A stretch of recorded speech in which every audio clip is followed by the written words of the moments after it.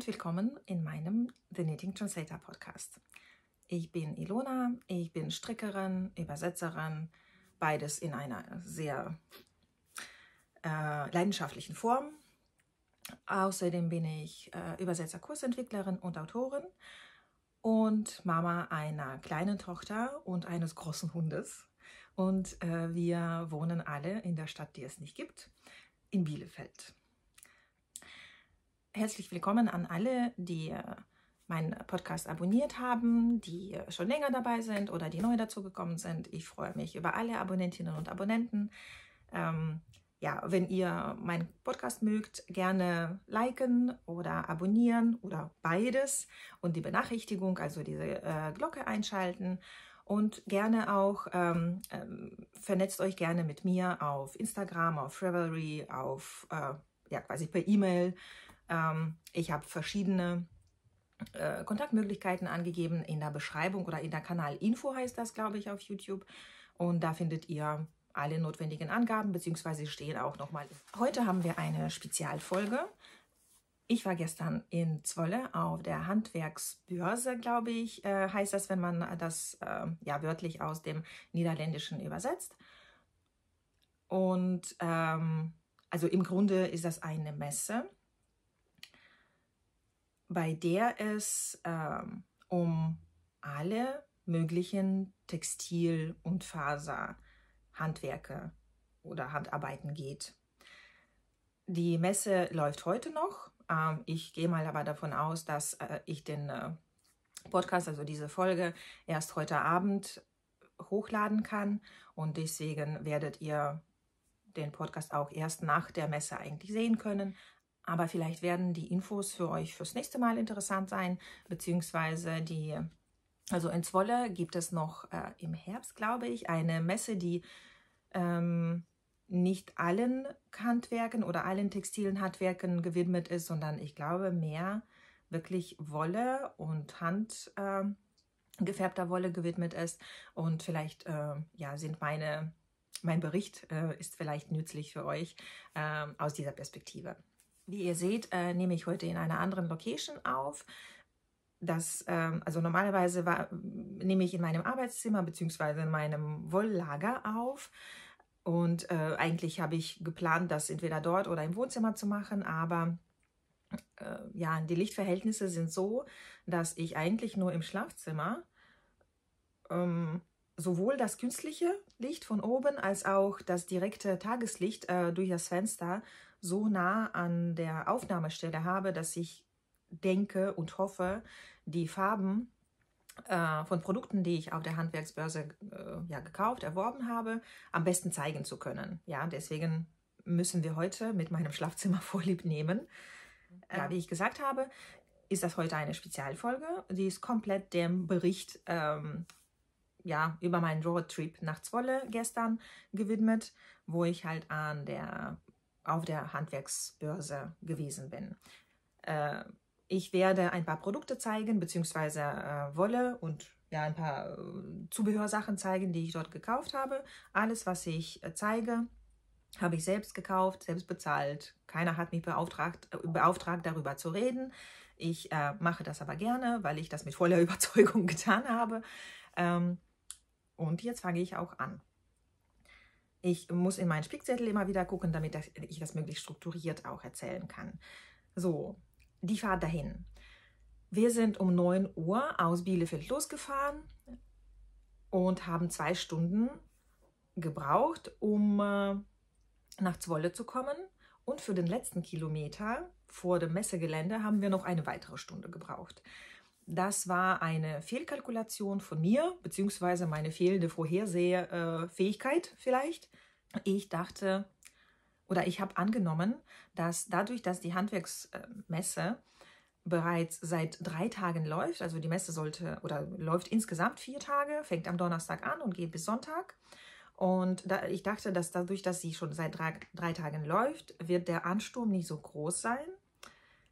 Ich habe mich geirrt. Der Ansturm war recht groß, deswegen auch der Stau so auf dem letzten Kilometer. Also wir haben wirklich eine Stunde gebraucht. da ist, glaube ich, nicht die äh, Messe, also nicht die, diese Handwerksmesse selbst schuld dran, sondern ähm, soweit ich das verstanden habe, gab es da noch andere Ausstellungen. Ich glaube, irgendwas mit Eisskulpturen, weil wir danach gefragt wurden, wo die Eisskulpturenausstellung ist hier in der Nähe. Also man musste da ein bisschen suchen auf dem Gelände, wo man eigentlich hin soll. Ja, ich glaube, das Messegelände äh, ist zwar nicht groß, also wenn wer äh, zum Beispiel Köln-Messe kennt oder Düsseldorfer Locations kennt, ähm, Zwolle ist eine kleine Stadt ähm, und wie äh, niederländische Städte so sind, ist so scheint schien für mich, ich war zum ersten Mal dort, klein und ja gemütlich und alles ist irgendwie viel kleiner als in Deutschland oder scheint viel kleiner zu sein. Ähm, und das Messegelände bzw. Die, die Messegebäude scheinen so ja, nebeneinander irgendwie wie so Bungalows äh, auf einer relativ großen Fläche verteilt zu sein, aber das ist nicht unbedingt übersichtlich, wenn man als Mensch quasi unten steht. Und ähm, es gibt Parkplätze direkt vor dem Messegelände oder vor dem, äh, auf dem Messegelände vor den Messehallen. Aber als wir ankamen, das war dann um elf, kurz, ach nee, ist gar nicht wahr, wir, um elf sind wir ja, in Zwolle angekommen und um zwölf waren wir auf dem Messegelände. Ähm, als wir um zwölf ankamen, waren alle Parkplätze vor den Messehallen direkt voll. Wir mussten also durchfahren und ähm, hinter so einer Autobahnbrücke oder sowas ist das oder so, so eine ähm, so ein Erdhaufen quasi, auf dem irgendwas gewesen ist. Dahinter musste man dann parken, aber diesen Parkplatz, also der weiter weg ist, den konnte man von dem Parkplatz vor den Messehallen nicht sehen. Da brauchte man so ein bisschen äh, Orientierung. Wenn man aber den anderen folgt, die offensichtlich sich auskannten, ja, die sind einfach durchgefahren an den Parkplätzen vor den Messehallen direkt äh, vorbei und äh, ja, hinter diese Brücke und dahinter gab es genug Plätze. Und da gab es auch ähm, Platzanweiser. Äh, das war also gut zu finden eigentlich, wenn man nicht schon so genervt gewesen wäre durch diesen Stau für den letzten Kilometer. Ja, ach ja, genau. Zwei Stunden haben wir gebraucht äh, aus Bielefeld nach Zwolle. Ja, für, nur zum Vergleich. Also sind, es waren auch geplante zwei Stunden ungefähr. Insgesamt, äh, als wir dann ankamen, ähm, war ich ein bisschen überrascht, denn die Messehallen bzw. die Handwerksbörse selbst und äh, das Gesamte war doch kleiner, als ich mir das vorgestellt habe. Irgendwo habe ich vor ein paar Tagen gehört, vielleicht auch schon länger her, gehört, dass äh, die Handwerksmesse in Zwolle ähm, eine der größten europäischen ja, textilen Handwerksmessen ist. Den Eindruck hatte ich nicht der, die, der, die Halle, die mit Ausstellungsständen besetzt war, war definitiv kleiner als die H&H, also H&H in Köln oder zum Beispiel als das Wollfestival oder nicht kleiner vielleicht, aber äh, auch nicht größer als das Wollfestival in Düsseldorf, wo ich letztes Jahr gewesen bin. Und ähm, eine interessante Erfahrung für mich war, auf einer Handwerksmesse zu sein, wo nicht nur Wolle und Stricksachen und äh, Strickzubehör oder halt Spinnzubehör äh, vorgestellt wurden, sondern da ging es wirklich um alle textilen Handwerke. Zum Beispiel, also Stricken und Spinnen und Häkeln waren da ähm, vertreten, dann Nähen, äh, Sticken, Weben, ähm, dann äh, Patchwork oder English Paper Piecing, glaube ich, heißt das neuerdings. Oder das ist eine Variante davon. Da, da kenne ich mich überhaupt nicht aus. Aber davon gab es recht viele. Man konnte auch vor Ort äh, Workshops buchen, also so ein, ja, etwas, wo man angeleitet wurde, etwas zu machen. Oder man konnte auch selbst Wolle färben ausprobieren. Ich glaube, das musste man vorher buchen oder gebucht haben. Ja, genau. Also es gab auf jeden Fall sehr viele Plätze, wo man sich hinsetzen konnte, wo man sich hinsetzen konnte und was machen konnte. Es gab auch sehr viele äh, Flächen, wo man essen konnte. So, jetzt kommt mein Hund wieder. So, jetzt musste ich eine kleine Unterbrechung machen, weil mein Hund auch äh, auf seinen Schlafplatz in mein Schlafzimmer gekommen ist und äh, ein bisschen Lärm gemacht hat. Was, was ich vorher nicht gesagt habe, ich habe immer wieder Aufnahmen gemacht, auf dem Weg dahin und auf dem Weg zurück. In der Messe selbst oder in der Messehalle selbst, wo in der Ausstellungshalle selbst, habe ich kaum was aufnehmen können. Es war sehr, sehr voll. Das war auch etwas, was mich ähm, überrascht hat, weil so von den äh, Messehallen oder Messen, die ich bisher genutzt äh, oder die ich bisher besucht habe, äh, ich war auf Gastronomiemessen, auf, äh, ja, auf dem Wollfestival, auf anderen Handwerksmessen, zum Beispiel hier in Bielefeld. Ähm, da war es eigentlich nie so voll. Und wenn es voll war, dann war das äh, die Fläche, wo man halt durchgelaufen ist, viel größer und deswegen war es nie so eng. Das war etwas, was ich jetzt nicht so, was mir nie so gut gefallen hat gestern in Zwolle. Da war, äh, war es recht eng an einzelnen, ja, so Stellen, wo zum Beispiel am Eingang in die äh, Ausstellungshalle direkt musste man zum Teil auch stehen und warten. Ähm, da hat, sich, hat es sich geknubbelt und davon gab es einige Flaschenhälse, sage ich mal, in den äh, Gängen zwischen den Ausstellungsständen. Das fand ich, ähm, also ich bin da leicht, äh, ja, autistisch veranlagt vielleicht. Ähm, ich mag es nicht, wenn es so eng ist und so viele Menschen um mich herum und so nah bei mir sind, fremde Menschen. Und da konnte ich natürlich nicht so gut aufnehmen. Also ich konnte die Stände nicht aufnehmen, weil vor den Ständen immer jemand stand. Und das, äh, ja, man muss ja auch mit den äh, Vertreterinnen, die oder mit den Verkäuferinnen, Inhaberinnen dieser äh, Firmen muss man, man muss sich ja zuerst fragen, wenn, äh, wenn man aufnehmen möchte. Und das war auch quasi nicht immer möglich oder ich hätte länger anstehen und warten müssen, bis ich sie überhaupt was fragen kann, weil sie halt mit jemand anderem gesprochen haben. Ich glaube, für die Messe selbst war das ein Erfolg, weil es halt voll war und viele viel gekauft haben oder viel, äh, ja, sich viele getummelt haben da und äh, ja, die Messe wird ja gemacht, damit sie besucht wird und das war sie eindeutig. Das heißt, ähm, wenn ihr ähm, ja so enge ähm, menschliche Verhältnisse auf einer Messe nicht mögt, dann nächstes Mal vielleicht eher an einem Wochentag, also an einem Arbeitstag hinfahren, zum Beispiel Donnerstag oder Freitag. Da war es sicherlich nie so voll. Ja, das war, wie, wie gesagt, äh, meine Fehlplanung vielleicht. Äh, weil ich dachte, dadurch, dass die Messe so lang geht, dass äh, dann am Samstag, was ja der vorletzte Tag ist, nicht so viel los ist, beziehungsweise nicht wenig, aber halt ähm, ja auch nicht so viel, wie es gewesen ist. Aber war trotzdem okay, also es hat sich dann so ein bisschen verteilt. Immer wieder gab es dann so einzelne Knubbelstellen und dann hat sich das wieder verteilt. Und äh, ich habe auf jeden Fall alles sehen können. Ich habe nicht alles kaufen können, was ich äh, gekauft hätte, weil äh, das dann nicht mehr da war. Aber das ist trotzdem okay. Ich habe ähm, ehrlich gesagt genug Geld ausgegeben. War aber nett. Ja, also ich habe mich grundsätzlich auch gefreut, wieder in den Niederlanden zu sein. Ich mag dieses Land sehr. Ich war da äh, häufig im Urlaub, überlege immer wieder nochmal dahin zu fahren. Ähm, irgendwie erkunden wir gerade andere äh, Länder. Dänemark ist auch super, auch im, im, Sommer an der Ostsee kann man auch, ähm, ist man nicht so stark der Hitze ausgesetzt. Äh, das mag ich ja nie so sehr. Äh, und man kommt in Berührung mit sehr vielen Wollgeschäften und interessanten Wollen. Darüber spreche ich irgendwann auch noch wahrscheinlich in meinem Podcast. Und als Fazit vielleicht all, ähm, zu, zu, ja, zu den Ausstellern. Die Messe ist auf jeden Fall spannend für diejenigen, die fasertechnisch sehr vielseitig interessiert sind. Zum Beispiel die für Menschen, äh, die nicht nur stricken und häkeln, sondern auch ähm, sticken, weben, ähm, ja, English Paper Piecing machen oder halt Patchwork, äh, Decken äh, oder Stickerei äh, und so weiter. Also da war es halt sehr gemischt. Die Aussteller waren ja quasi gleich verteilt auf verschiedene textile Bereiche.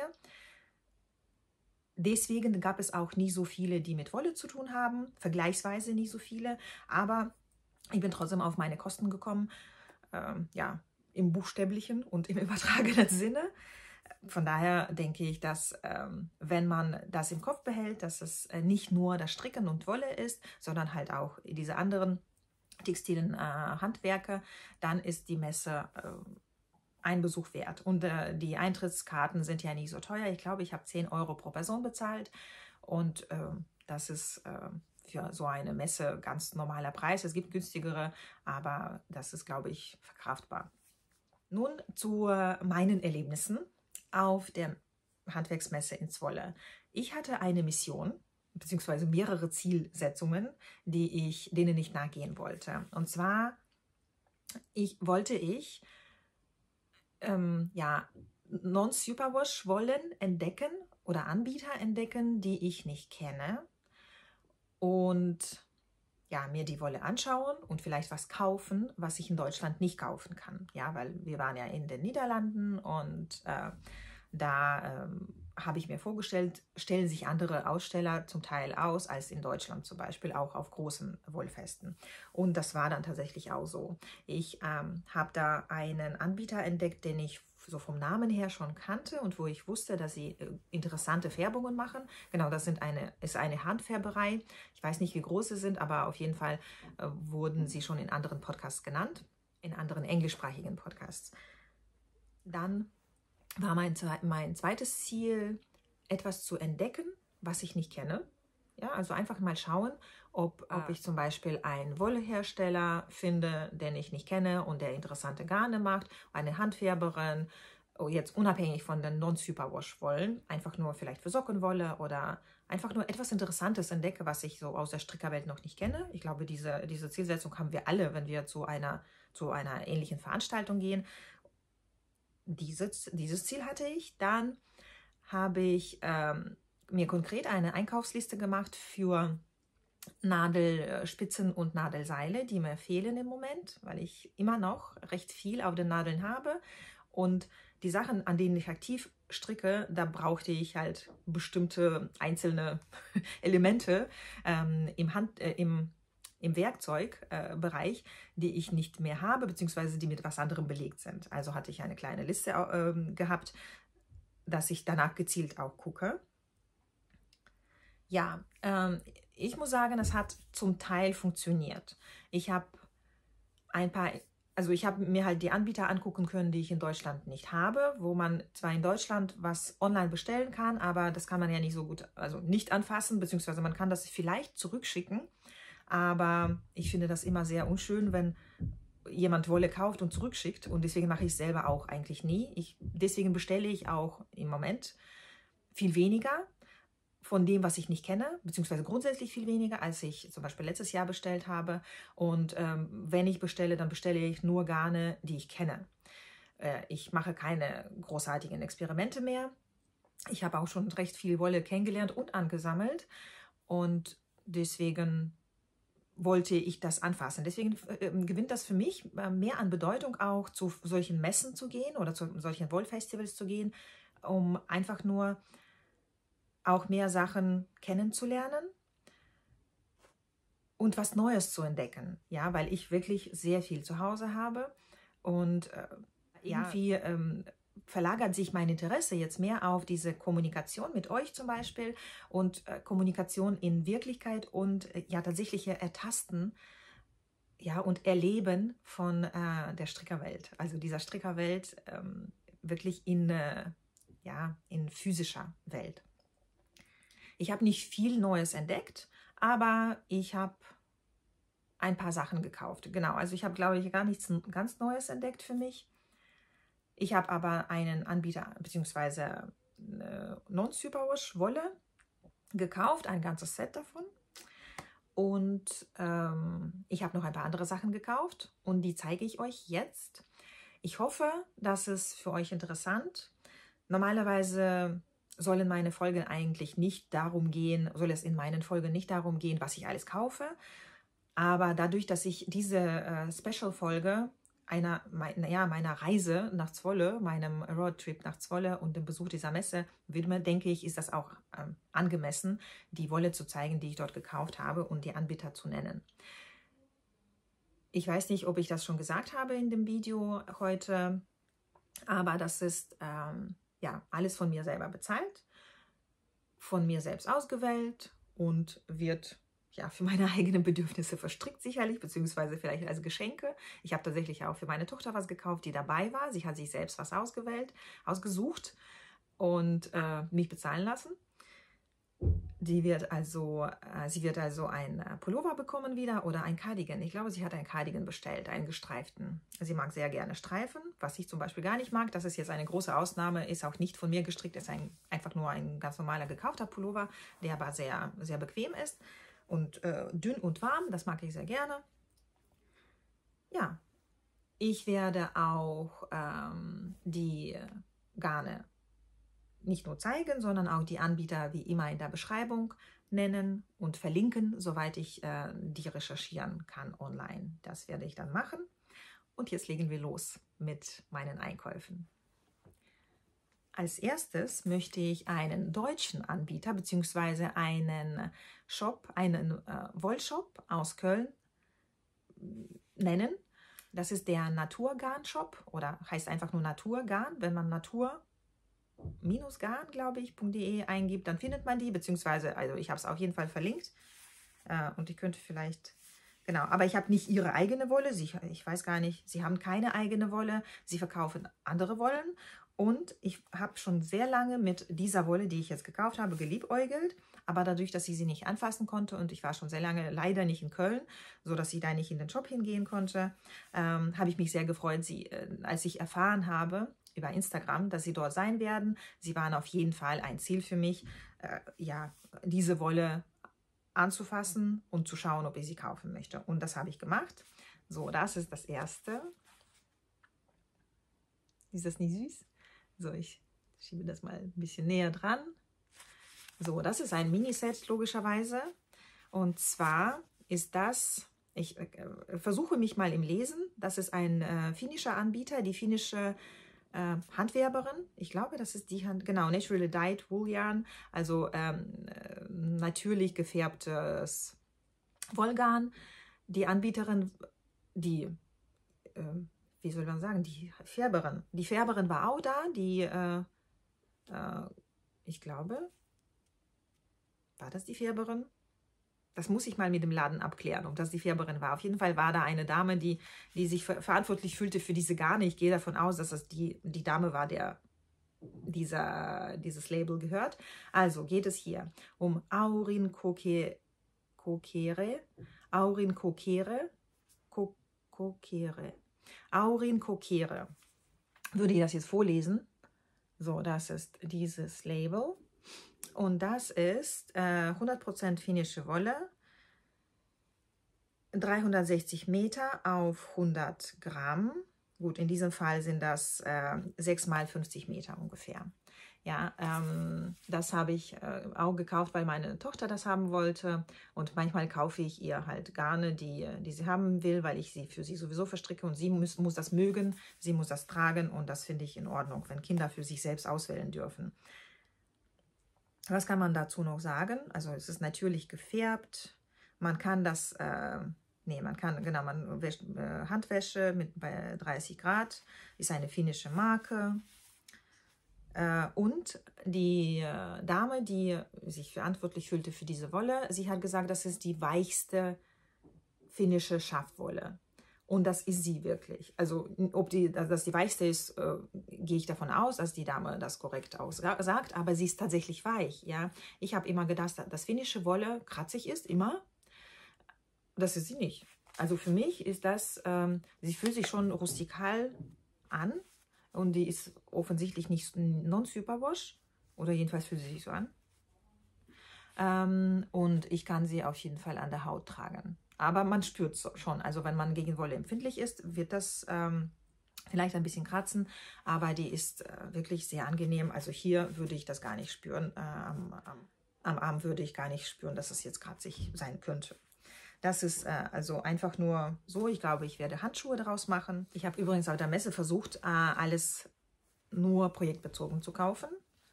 Und das hat im Großen und Ganzen sehr gut funktioniert. So, und dann hat meine Tochter diese Wolle ausgesucht. Das ist vom gleichen Anbieter, also auch äh, diese hier. Das werde ich nicht nochmal wiederholen können. Ähm, so, und daraus möchte sie ein Cardigan. Ja, man sieht, sie hat eine ganz andere Lieblingspalette, Farbpalette als ich. Äh, das sind auch 360 Meter auf 100 Gramm und ich habe damit zusammen 300 Gramm. Das wird für meine Tochter auf jeden Fall reichen. Ich kann auch hier äh, kurz vielleicht zeigen. Hier heißt die Farbe Lotti. Das ist hier äh, handschriftlich eingetragen. Das ist auch sehr charmant. Und das ist Reseda oder Reseda. Ich weiß nicht, wie es betont wird.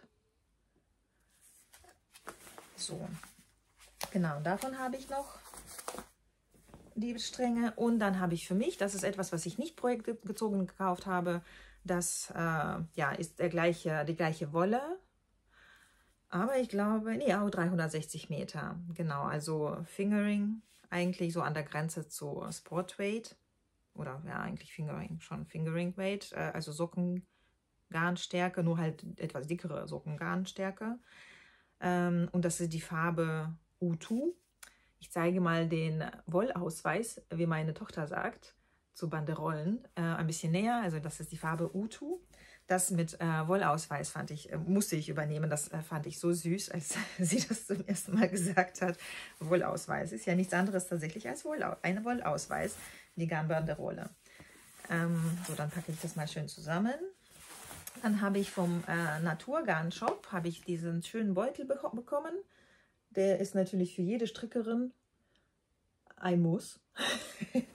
äh, mein Knitting Place steht drauf. Ähm, und ich habe äh, auch einen äh, Messerabatt bekommen von Naturgarn ohne eine Verpflichtung für eine Gegenleistung. Aber ich habe sowieso angekündigt, dass ich in meinem Podcast erwähnen werde, bei wem ich was erworben habe. Und das, das mache ich auch sehr gerne. Ich wurde, wir wurden sehr nett bedient und ich werde auf jeden Fall, wenn ich in Köln bin, bei dem Laden, also soweit meine ähm, Zeiten das erlauben, ich werde tatsächlich im März ähm, auf einem ähm, auf einer auf der Jahresmitgliederversammlung der des äh, Übersetzerverbandes sein und werde versuchen, äh, ein paar Wollshops äh, zu besuchen. Äh, ja, in der Zeit, die ich dann davor, vor der Versammlung und nach der Versammlung habe. Ich hoffe, das funktioniert und ich hoffe, dass Sie nicht weit weg von dem Versammlungsort sich befinden. Das war äh, also die Wolle von Naturgarn. Dann habe ich einen interessanten und für mich vollkommen neuen Anbieter oder eine, Hand, äh, nee, eine Handfärberin entdeckt. So, hier kommt ein bisschen Lärm vielleicht, weil ich eine Box habe. Und zwar geht es um diese Handfärberin, Betketto Jan. Ähm, ich gehe davon aus, dass es eine niederländische Färberin ist. Ich glaube, sie haben Niederländisch gesprochen. Sie war da mit ihrem Freund, der an der Kasse saß und sie war halt für die Garne zuständig. Und ich rede vielleicht lieber weniger. Äh, also ich rede, versuche mal nicht zu lange drum herum zu reden, weil eigentlich habe ich wieder nie so viel Zeit zum Aufnehmen. Ich habe dort Sockenwolle gekauft. Und zwar diese. Äh, diese Färbung hatte sie leider nur als Mini-Skeins, also Mini-Stränge. Also eigentlich war das der Strang, der mir gefallen hat. Ja, mit mehr Grün. Mit, also diese Art von, oder diese diese, die Färbung mit so viel Grün hatte sie leider nicht mehr. Deswegen habe ich halt, soweit ich das gefunden habe, dieses hier gefunden äh, und so zusammengestellt. Ja, also sind 5 20 Gramm Stränge, die ich erworben habe für Socken für mich und meine Tochter. 100 Gramm reichen immer für zwei Paar Socken in unseren Größen. Das ist, ähm, steht hier irgendwas zur Färbung? Hm. Steht nichts, was für eine Farbe das ist. Ja, auf jeden Fall ist das äh, hier der Wollausweis wieder.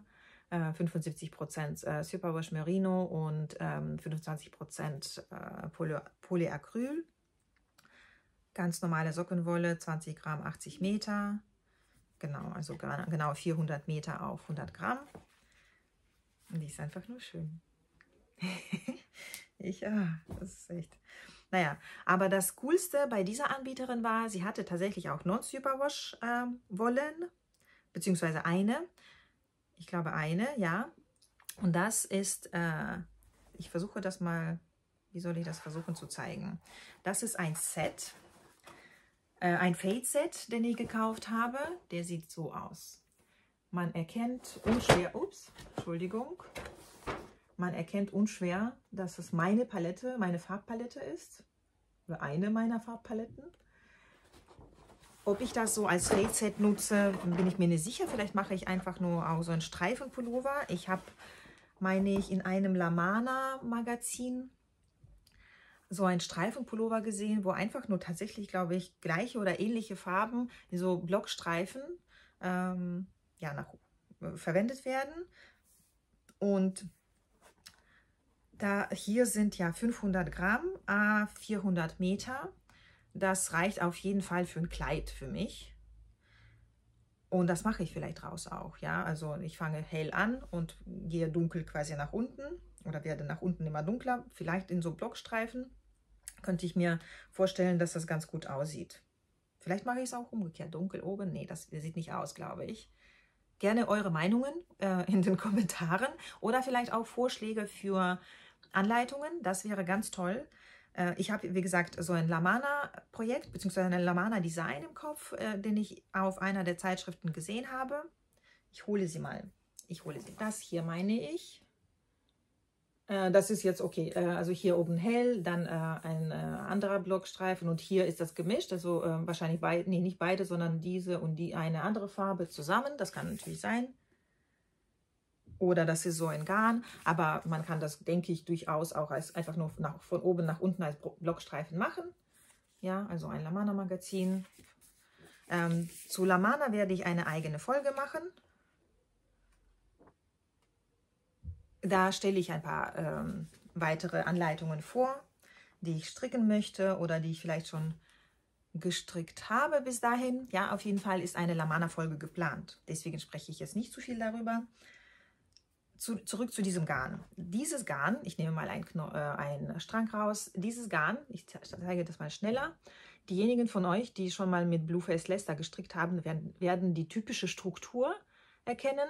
Ja, also das ist ähm, BFL, 50% BFL, 50% Messem, also Meshem, Messem, glaube ich, spricht sich das aus, ähm, ist also britische Wolle, non-superwash, ist auch ein bisschen rustikal, aber sogar weicher als diese finnische Merino-Wolle. Ich glaube, das ist finnische Merino-Wolle, also finnische Wolle, die ich vorhin gezeigt habe. Ähm, die, ist, die ist weich,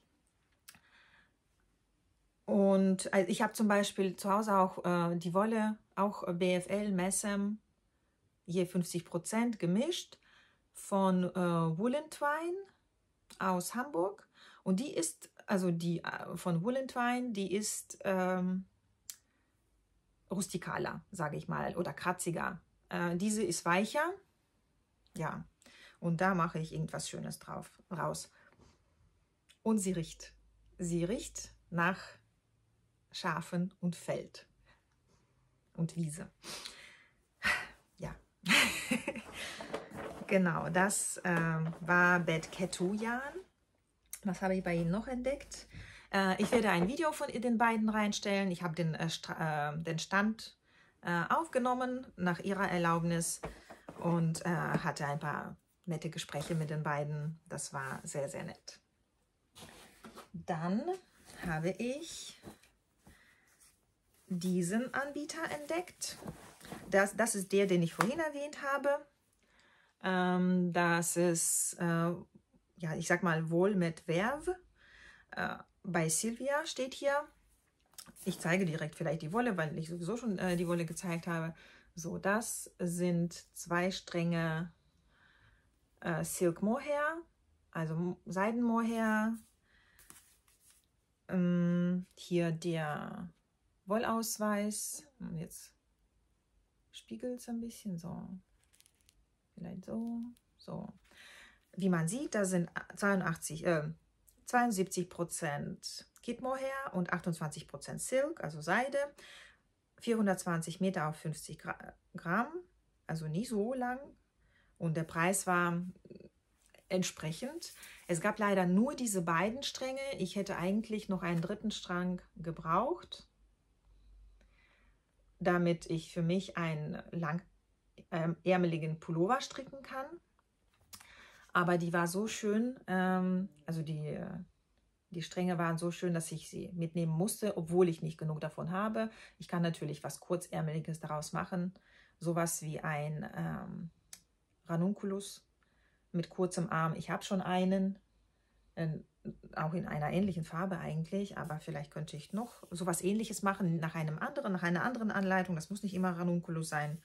Das äh, ist dann auch ein bisschen blöd, äh, wenn alle mit dem gleichen Muster rumlaufen. Es gibt auch andere schöne Muster. Und hier konnte ich einfach nicht vorbeigehen. Ja. Und ähm, das werde ich bei der nächsten Gelegenheit vielleicht in meiner Auswertung ergänzen äh, und dann die Datei auf meiner Internetseite auch einfach anpassen, so dass man auch dieses Garn dabei hat. Hm, hier würde ich so im Vergleich ähm, sagen, dass vielleicht dank Messe war der Preis eigentlich unter den äh, ja, geringeren Preisen für handgefärbte äh, Silk Mohairs. War so meine äh, Überschlagsrechnung dort. Oh, ich merke gerade, die sehen auch zusammen tatsächlich lustig aus. Vielleicht probiere ich es. Nee, das, ähm, aber die sehen schön aus zusammen. Mal gucken. Vielleicht kann ich, vielleicht kann ich mir irgendwas ausdenken dazu.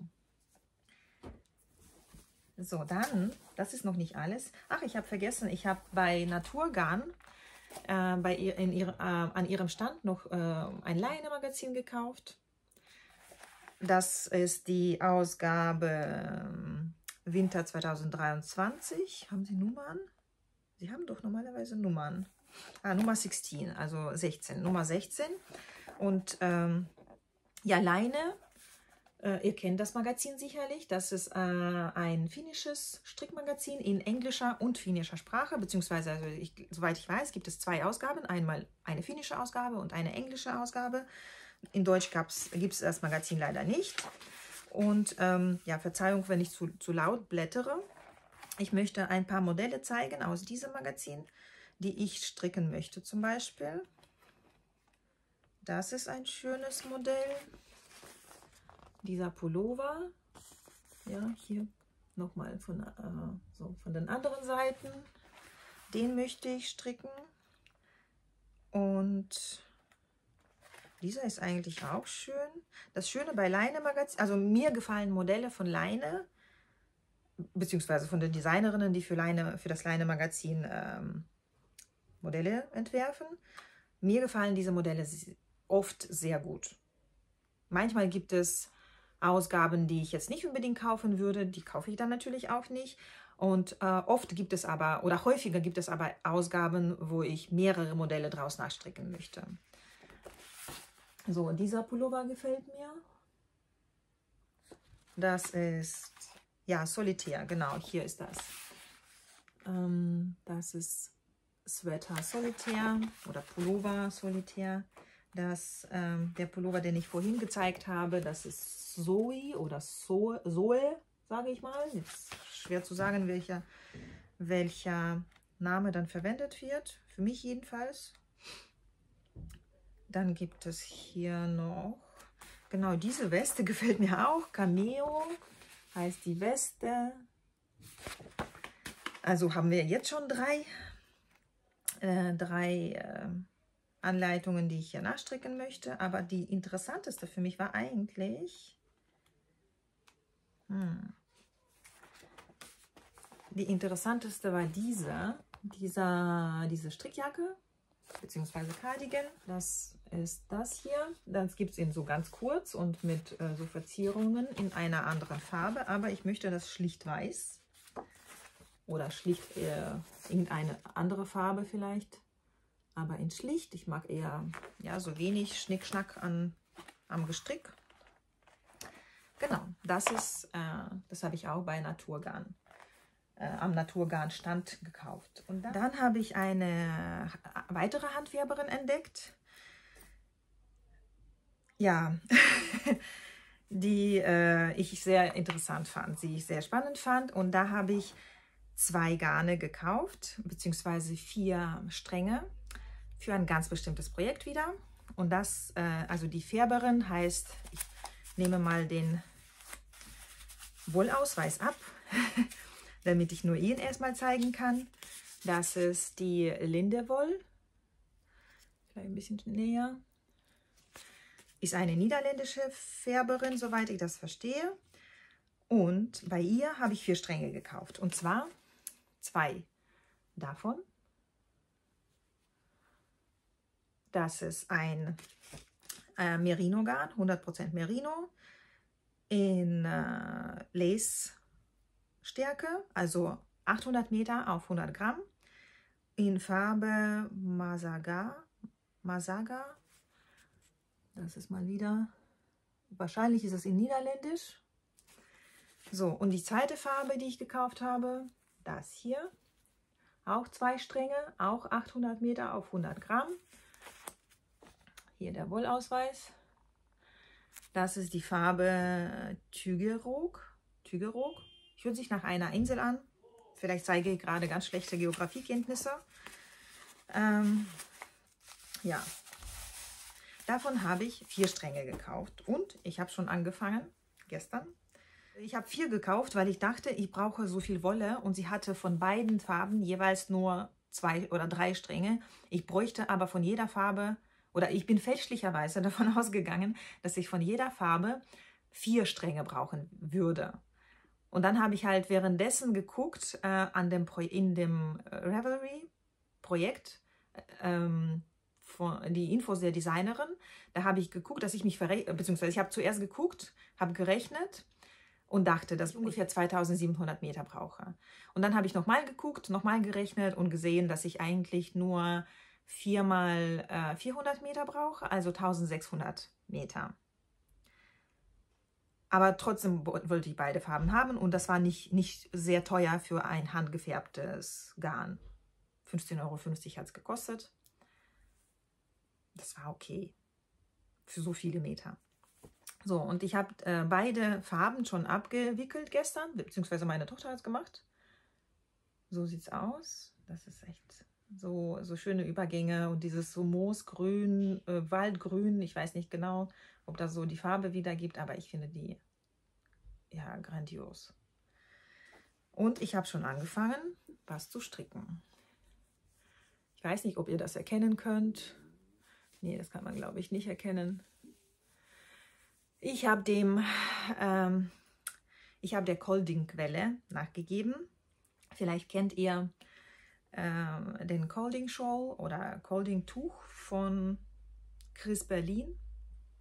Ist ein sehr, sehr, sehr bekannte, eine sehr bekannte Anleitung, ein sehr bekanntes Design. Sehr viele haben das gestrickt, so ähnlich wie Ranunculus, glaube ich, jedenfalls in Deutschland. Äh, Im Ausland im Ausland kennt man, äh, glaube ich, die Anleitung äh, weniger, aber, aber man kennt die dort, glaube ich, auch, weil äh, ich glaube, es sind mehrere tausend ähm, ähm, Coldings bereits gestrickt worden. Also das kann ja nur mit Ausland zusammen gewesen sein. Ähm, ja, ich äh, wollte lange, oder das ist bei, bei mir normalerweise immer so eigentlich, wenn alle etwas stricken, dann möchte ich das deswegen erstmal nicht stricken. Und dann, je länger diese Welle andauert, umso häufiger gucke ich mir dann halt die Anleitung an und äh, gucke mir meine Garne an.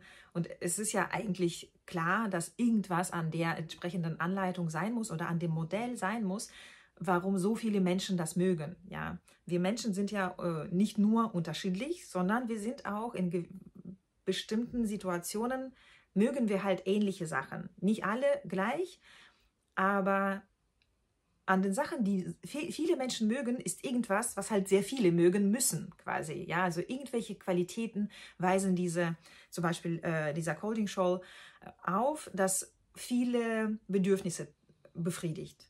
Ja, und ja, ich bin dann halt nachgegeben diesem Drang, äh, den nur ich mir gemacht habe, den keiner bei mir, keiner, keiner versucht hat, bewusst an mir äh, mir zu machen, sondern einfach nur, ich habe ein passendes Garn gefunden und dachte, das ist ein Colding. Ja, das muss ich, daraus muss ich ein Colding machen. Und eigentlich ist meine Idee, der Colding wird ja mit einem Fingering Weight Garn gestrickt, beziehungsweise mit zwei. Da stehen zwei Farben, ohne dass ich zwei Farben im, äh, auf dem Foto sehen kann, aber das interessiert mich nicht. Für, für den Colding braucht man ja vier Stränge in der Sockengarnstärke. Ich habe hier jetzt vier Stränge in Lace Weight Streng, ähm, Stärke. Damit habe ich eigentlich zu viel. Außerdem ist das Lace Weight. Ich habe gestern äh, ganz toll kühn, an, wollte ich mit äh, Dreiernadeln und diesem Strang, beziehungsweise mit dem anderen grünen anfangen. Dann habe ich den Faden gehalten, die Nadeln gehalten und verstanden, nein, so ein großes, so ein langes, großes, breites Strickstück in Lace Weight mache ich nicht. Das ist unmöglich. Also dachte ich, okay, dann mache ich halt doppelt. Ähm, die Färbung sieht, dann, sieht man dann weniger leider, aber ich zeige das mal noch mal kurz, vielleicht ein bisschen näher. So sieht das dann mit der Färbung aus. Man sieht schon, dass äh, die Farbe wechselt. Nicht ganz so schön, wie äh, als wenn sie halt in ähm, einmal, also ein äh, Faden, in einem Faden zu sehen wäre, aber trotzdem schön. Und ich kann das stricken. Ja, das ist halt Fingering Weight. Und damit habe ich eigentlich, wenn ich nur grün nehme, habe ich ähm, zweimal 400 Gramm, äh, zweimal 400 Meter. Und eigentlich zu wenig. Und deswegen war meine Idee, deswegen habe ich auch ähm, vier Stränge gekauft insgesamt. Ich stricke bis zur Hälfte in grün und die andere Hälfte in braun. Die sehen aus meiner Sicht sehr, sehr gut zusammen aus. Und dann habe ich halt einen Colding, der in der Mitte, also wenn man den so umschlägt, also der Länge nach umschlägt, dann habe ich in der Mitte halt einen Farbwechsel. Und das finde ich okay. Also ich habe das bei Knitting Traditions bei der Inga gesehen, dass sie diesen Half and Half Triangle Strap manchmal, beziehungsweise nein, sie hat gezeigt, wie man Half and Half Triangle Strap äh, auf unterschiedliche Art und Weise um den Hals äh, beziehungsweise um den Körper legen kann. Und eine der Varianten, die sie gezeigt hat, war, dass man diese beiden Dreiecke nicht so umklappt, dass auf einer Seite eine Farbe ist und auf der anderen Seite die andere Farbe ist, sondern dass man die halt so umklappt, dass man beide Farben sehen kann, dass, sie, dass die Trennung der Farben in der Mitte ist. Ja, also dass man quasi diesen gesamte Quadrat, also die sind ja zwei Dreiecke, die dann ein Quadrat ergeben, dass man sie dann nicht so umklappt, sondern so umklappt. Ja, und dann ist ja die Trennung der Farben in der Mitte und wenn man das dann so um ja, um den Hals legt und dann hier wieder so zurück umschlägt, dann sieht man die Trennung hier und die beiden, ähm, ja, hier diese Enden, also diese Dreiecksenden, die sind dann äh, in jeweils einer Farbe irgendwie, glaube ich. Genau, aber die Trennung in der Mitte fand ich sehr schön, sehr interessant und deswegen bin ich auch auf die Idee gekommen, dass ich auch den Konding in zwei Farben machen kann. Und das werde ich jetzt mal machen. Also nicht jetzt, sondern wahrscheinlich wird das eine Jahresaufgabe sein. Aber das ist die Idee für diese beiden. Ja, wie ich vorhin schon gesagt habe, werde ich alle Handfärberinnen verlinken. Also das war meine eigentlich eine ähm, für mich eine ganz besondere Entdeckung, weil ich das Garn äh, das Garn ist unglaublich weich, wirklich, das ist so ah, kann man sich reinlegen. Und das ist ein äh, Single Garn, also ist ein einfädig gesponnen. Und nur noch eine kleine Sache, die ich entdeckt habe. Das war eine niederländische Färberin, die heißt Atelier Het Wollbeest. Ich lese das wahrscheinlich falsch. Äh, da habe ich nur einen Strang äh, Sockenwolle gekauft, einfach nur, weil er reduziert war und schön, beziehungsweise schön und reduziert, vielleicht in der Reihenfolge. Ähm, ja, das ist der Wollausweis, also die Banderole. Und das ist ganz normal, ein ganz normales Sockengarn, 75% Superwash ähm, Schurwolle und 25% Nylon, Polyamid ähm, 420 Gramm auf, äh, 420 Meter auf 100 Gramm. So, aber die Färbung, also ich mag sowieso alle Färbungen eigentlich so mit, mit so weiß oder so grau, ähm, wo man einen großen Anteil an, äh, halt äh, an der Base sieht und dann äh, ja so eine andere Farbe dazu kommt. Das war die Wolle. Und dann hatte ich ja noch den Plan, äh, Nadelspitzen zu kaufen und Nadelseile. Muss ich auch kurz holen, nicht wieder? Ich brauchte, also ähm, ohne jetzt zu viel über Seile und Nadeln zu sprechen, normalerweise nutze ich zwei Nadelsets. Ich glaube, ich habe das schon mal erwähnt. Äh, oder vorwiegend nutze ich zwei Nadelsets. Einmal Haya Haya und einmal Chiagu Nadeln.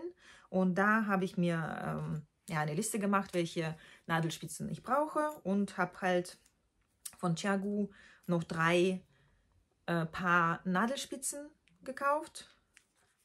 Da sind diese Twist. Und die habe ich in drei, dreieinhalb und vier nachgekauft. Und die Entdeckung war aber, ich brauchte eigentlich so ein Seil, also so ein Red heißen sie. Die sind äh, recht fest. Sie drehen sich hier nicht durch, also dieses Teil dreht sich nicht durch, was bei Twist ja äh, passiert. Also es gibt ja noch die anderen Seile von Chiagu Twist. Die sind hier viel dünner, dieses Teil, also, also Plastikteil, viel dünner. Und dafür dreht sich aber ähm, dieser, diese Anschlussstelle an die, an die Spitze, ja, dreht sie sich, sodass wenn man äh, in Runde zum Beispiel strickt, ähm, der, das Seil sich nicht verdreht. Ja, man muss dann die Spitze nicht ständig zurückdrehen zum Beispiel. Ja, ähm, bei diesen muss man das manchmal machen, aber das, also ich merke das überhaupt nicht. Von daher äh, hatte ich diese Twist-Seile zwar zum Ausprobieren mal gekauft, ein paar davon, aber die verwende ich möglichst selten, weil bei denen, dadurch, dass sie hier viel dünner sind, also wo dieses rote Teil ist, sind die Twist-Seile, diese durchsichtigen Plastikseile sind hier viel dünner und damit haben wir hier zwischen dem äh, Anschlussstück und äh, dem Seil einen zu großen, eine zu große Differenz in der, äh, im, äh, ja, im Umfang. Das heißt, dass je nachdem, wie, wie fest man strickt, äh, wenn die Maschen dann hier so runtergehen, und man sie dann aber zurück auf die Spitze ziehen möchte, dann bleiben sie hier haften. Das, man, man muss das immer dann, ja, das ähm, muss man halt immer, dann muss man ein bisschen Kraft äh, anwenden, beziehungsweise ist immer ein bisschen umständlicher, die Maschen wieder zurück auf die Spitze, also auf, den, auf die Nadel zu, zu schieben. Das stört ein bisschen. Und oh. gestern äh, wurde mir erklärt von der Verkäuferin an dem Stand, wo ich die Seile gekauft habe. Und die, ja, nur die Seil, das Seil. Äh, wurde mir erklärt, dass es ein neues Seil gibt. Auch, äh, das ist so ein Zwischending. Ja, ich ähm, habe das schon in Arbeit bei einem anderen Strickstück, das ich habe. So, das ist das, äh, das ist eine andere Spitze halt, auch ähm, Chiagu. Und das ist das Seil. Ja, das dreht sich durch, das sieht man. Ja, also ich zeig mal so ich drehe, ja, das dreht sich hier an dieser Stelle und das äh, ist keine rote, kein rotes Seil. Ich weiß nicht, ob man das so, genau, so kann man es besser sehen, glaube ich. Das ist ein rotes Seil, äh, so, fast so dick wie das rote Seil, aber ich glaube, da ist auch so ein Metall, Metallseil drin. Außen ist das aber durchsichtig na. Außen ist es aber durchsichtig und deswegen ist es leichter, die Maschen wieder, also ich zeige mal das mit Maschen, deswegen ist es leichter, die Maschen hier wieder zurückzuschieben. Es ist nicht ganz so einfach äh, oder nie, läuft nicht ganz so glatt wie mit diesen roten Seilen, aber es ist viel besser als mit dem durchsichtigen früheren Seil. Ich hoffe, das habe ich irgendwie nachvollziehbar erklärt. Zu dem Strickstück sage ich erstmal nichts, das ist, äh, das wird zu viel. ja, hier stricke ich was für meine Tochter, aber das wird zu viel. Ich glaube, ich habe alles erzählt, was ich erzählen wollte zu meinem Roadtrip und zu meinen Einkäufen in äh, Zwolle gestern. Ich hoffe auch, dass ich die Folge heute irgendwie äh, fertigstellen kann und hochladen kann. Das dauert ja schon mal ein bisschen. Und ja, wünsche euch wenn die Folge heute online ist, einen schönen Restsonntag und einen schönen Start in die Woche morgen und grundsätzlich alles Gute. Und ähm, wir sehen uns bald wieder. Tschüss.